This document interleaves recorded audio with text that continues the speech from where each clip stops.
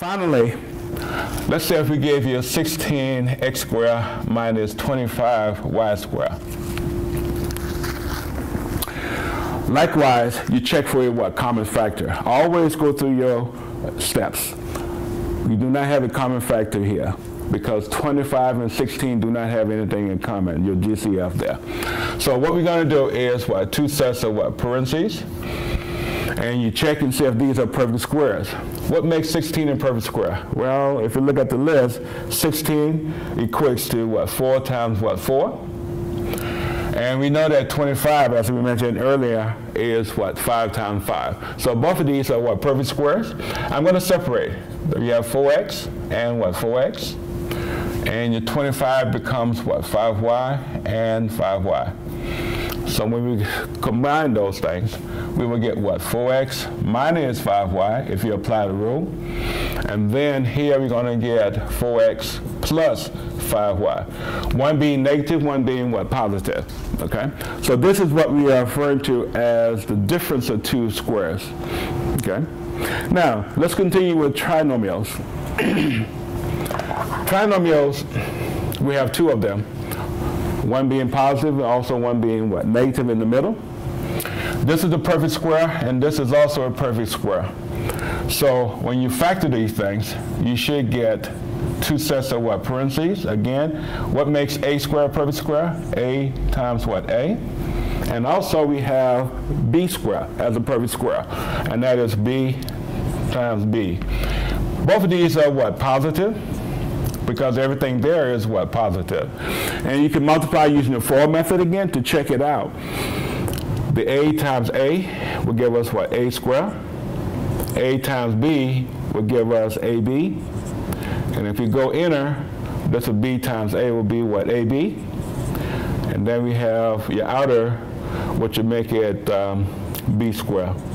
These are like terms, and everything is positive. We have 1AB plus 1AB. That would give us what? 2AB. And we bring down your what? B square as well as your A square. So as you see, if you multiply, you, you will have your original um, problem.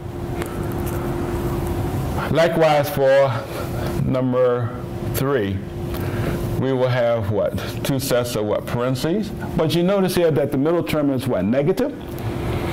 But if you look, negative times negative will give us what? Positive. So again, you separate. A squared will be what? A times A, and the B squared in this case will be a negative B times a negative B. Why are we using negative? Because the middle term is what? Negative. So when you combine those two things, you do get that negative 2AB. So again, we separate. A being your first position, and your B being in your second position. Okay? So that means that what we're going to have here is what? A minus B times what? A minus B. If we multiply, you should get the original. Now you note that both of these are what? The same?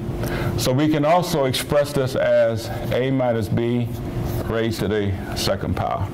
Okay? Uh, we normally would do that. Finally, if I gave you x squared minus 4x plus 4 and actually to factor. First of all, you check for that common factor. You never go away from those steps, okay? Now, uh, since we don't have a common factor, we have what, the second step that we have what, two sets of what, parentheses. And then you factor the first term. Always look for that com, and that will give us what, x times what, x. And your 4 now 4 has two sets of factors. We have 4 times 1, and we also have what, 2 times 2. As I mentioned to you before, you always want to try to get the one that's closely related. In this case, that is what, 2 and what, 2. You also note that 2 plus 2 is equal to what, 4 in the middle, okay? So that means that what we're going to do is use both negative. Why are we using negative? Because the middle term is what? Negative. Okay? So obviously that goes hand in hand. So you see also that you have what? Both of these being what? The same?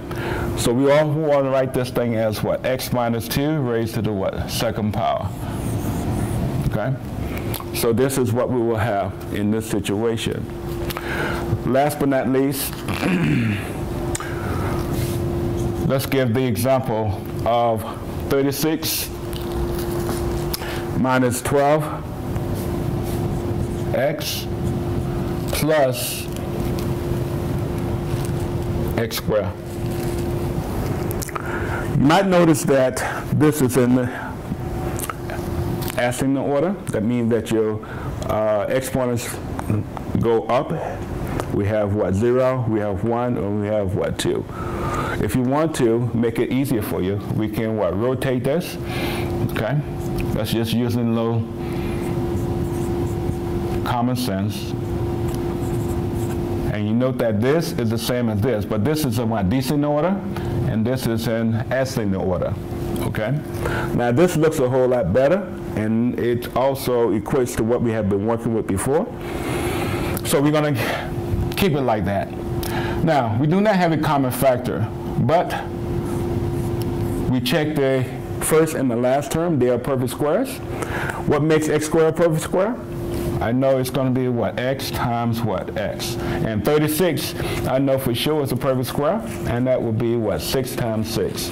So that's what we're going to put on the latter part. Now, the middle term is negative, so we must get that.